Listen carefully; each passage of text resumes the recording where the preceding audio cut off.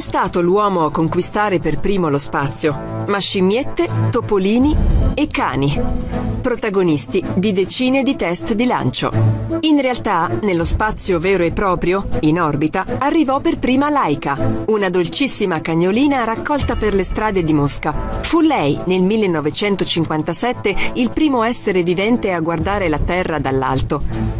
La sua vera storia fu molto diversa da quella romanzata e diffusa in un primo momento dalla propaganda sovietica morì poche ore dopo il lancio e non dopo sette giorni, al termine di una lunga agonia vissuta in diretta dalla sala di controllo della missione, in cui risuonò per lunghissimi momenti il battito cardiaco della cagnolina terrorizzata, sempre più fievole fino alla morte. È toccato al nostro Umberto Guidoni, dopo Guidoni Roberto Vittori, Paolo Nespoli, Luca Parmitano e Samantha Cristoforetti.